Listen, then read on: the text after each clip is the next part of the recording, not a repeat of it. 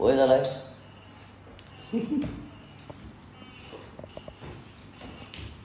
bối ơi, bối bối ơi.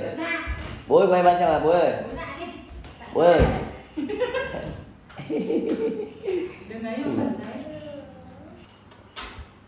Đây là cách, con tôi đi chữa mẹo cai sữa đây. Vẽ hai cái lông mày như con ngáo ộp vẽ con ngáo ộp đấy mà nó vẽ vào tim mẹ một cái vòng tròn cũng đen xì. Bối ơi! Đấy, vẽ vào tim mẹ hai vòng tròn cũng đen xì như này. Không biết chữa miệng cái gì mà người ta chắc là chữa đây chắc là người ta vẽ ngáo ộp cái này để, để, để, để cho con bé nó hãi cái năm tim nữa.